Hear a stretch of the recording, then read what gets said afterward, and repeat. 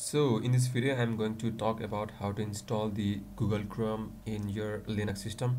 So uh, I'm using Ubuntu but uh, I will also show you how to install the Google Chrome in Fedora or the RPM based distribution as well. So uh, the first thing is to go and search for the Google Chrome for the Linux system. Just you can use any search engines like Google Bing but I'm using Google. Just go ahead and search for uh, Google Chrome download. And after that uh, Google Chrome uh, this first link go ahead and click on this first link and then click download Chrome. So when you click on that link it will pop up and give you the list of options. So 32-bit uh, for DB for the Debian based and the Ubuntu based system uh, for the Fedora uh, Red Hat, CentOS or SUSE Enterprises Linux thus you need to download the RPM so as I'm running the Debian system uh, that is Ubuntu so I'm going to use the 64-bit uh, you can either choose 32-bit if your operating system is of 32-bit and you can also choose the 64-bit if your operating system is 64-bit that you can check by using uname minus uh, a so as you can see x8664 is the 64-bit system. So i'm going to uh, download the 64-bit system. Just accept and install. So this will uh, download uh, actually i want to save the file. So this will download uh, the system. As i have already downloaded i'm not going to uh, download it. I'm going to cancel. So uh, the previous download has been saved under my downloads directory. So as uh, you go to the downloads directory and do ls you can see that the google chrome has been downloaded. So this is the debian package. So in, to install the debian package in uh, the linux or in the ubuntu or the debian based system just you need to do sudo uh, dpkg is the debian package manager and i for install google chrome. Just press uh, just do G-O-O-G-L-E and press tab to autocomplete uh, the file name. Okay? Geo and tab Google Chrome. This will autocomplete uh, the name of the file and then just hit enter. Uh, then uh, issue your password as I'm going to enter mine. So as you can see uh, the Google Chrome is installing. So unpacking Google Chrome is stable. Uh,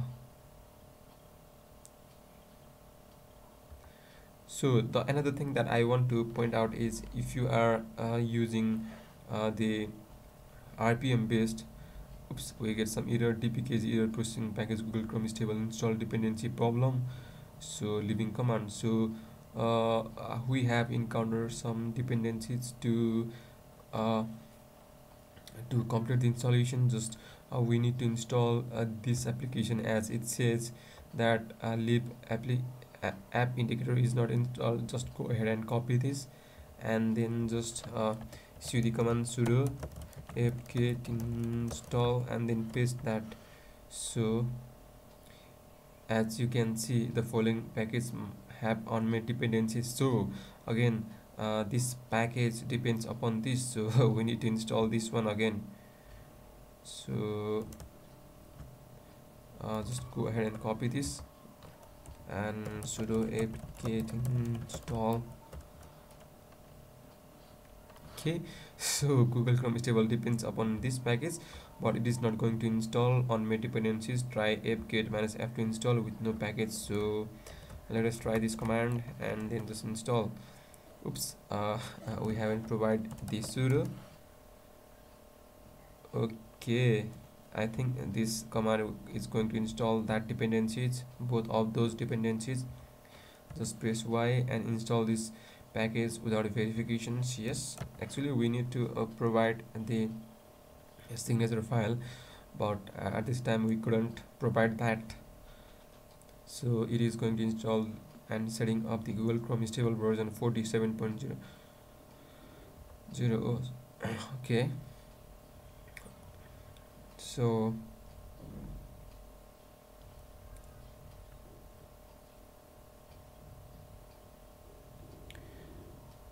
processing are going to be triggered. So if you uh, do google chrome then your google chrome uh, is installed and actually I don't want to send the statistics and the crash report to Google Google so I'm not going to check uh, this second option.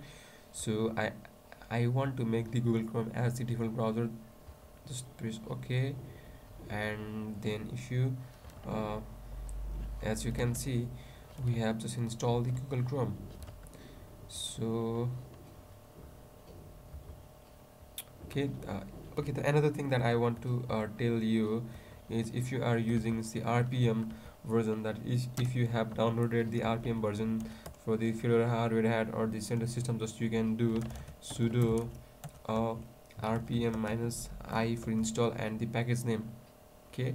Or you can even do sudo sudo yum something like yum local install and the package name. Okay thank you for watching this video. If you like this video please subscribe. Thank you